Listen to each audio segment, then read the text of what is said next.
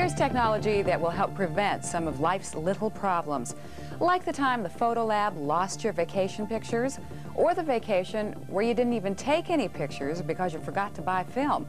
A Tom Intier reports on a camera system that doesn't use film. It enables your personal computer to do the work of a home darkroom.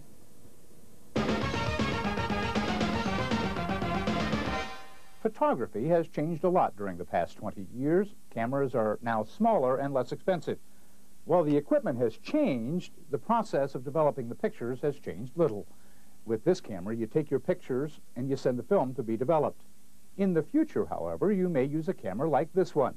There is no film, and when you want to see your pictures, you simply take them to your computer. This is a Fotoman camera from Logitech. It is digital and stores up to 32 photographs inside the camera. When you take pictures, it is just like most other cameras, just point and shoot. It has a built-in flash attachment. The difference between this camera and all the others is when you're ready to process the pictures. The unit comes with a six-foot connecting cord that sends the images to your computer through its serial port. The computer software required to process the images is called FotoTouch. It comes with the camera. FotoTouch works under Windows. When you start the application, your picture once again looks like negatives you might get back from the Photoshop, but in seconds instead of hours. The pictures are limited to black and white, but are displayed in 256 shades of gray.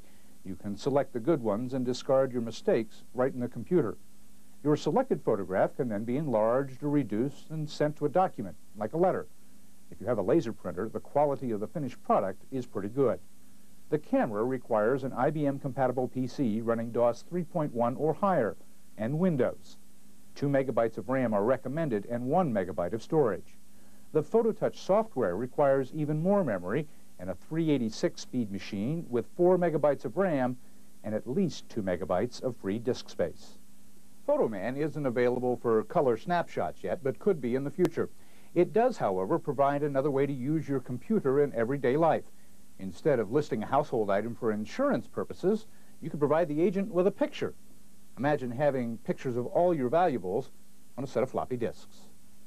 I'm Tom Intier, CNN Future Watch. The Fotoman camera sells for $800, including the FotoTouch software. Standard camera accessories like wide-angle and telephoto lenses are also available.